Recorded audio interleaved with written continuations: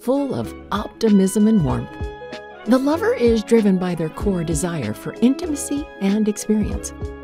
They seek to cultivate deep, meaningful relationships with those they love friends, family, and colleagues. Think dinner parties and deep heart to heart connections. The lover is kind and inviting. Inspired by their heart and driven by their emotions, they are a friend to all and a confidant of the masses. Demonstrating their commitment through passion, gratitude, and appreciation. The lover can be idealistic and a bit too forgiving, and in their unyielding pursuit to please others, may struggle to maintain their own sense of self.